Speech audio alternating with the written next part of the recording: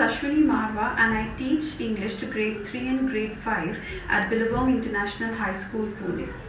This certainly is a very difficult time for all of us as the schools are shut.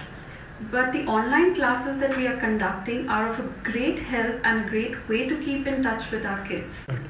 The biggest personal takeaway for me is that the gap between me and technology has reduced quite a bit.